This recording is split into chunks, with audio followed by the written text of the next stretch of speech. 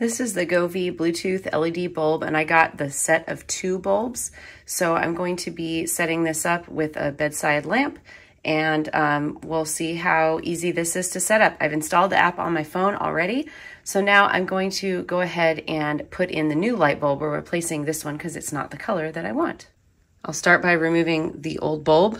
This is what the Govee bulb looks like. So we'll go ahead and put that one in and then it by default is going to turn on and then we're going to have to turn it off and on several times and I'm going to do a screen recording so you can see what that looks like.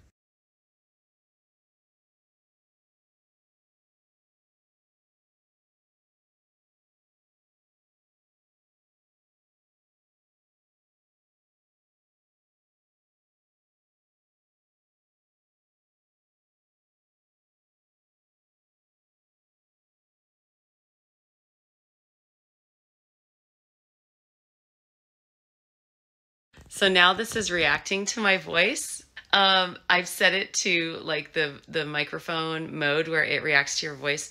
This might be a bit much, um, but you can see that it does do all these different colors, and that's pretty fun. I doubt I'll be using those features a whole lot, but that is is pretty fun thing to have. So there you go. I think these are going to work out really well.